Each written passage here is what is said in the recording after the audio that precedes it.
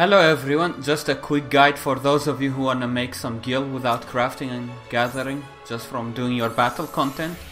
So from the tomestones that you get, Phantasmagoria tomestones that you get, you can buy these materials.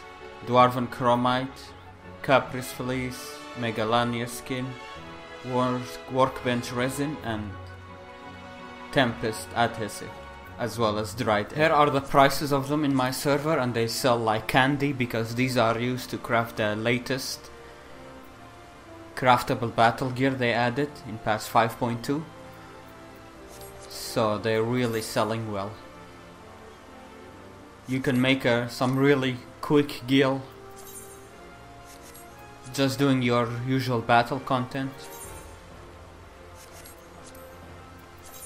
just showing the sale history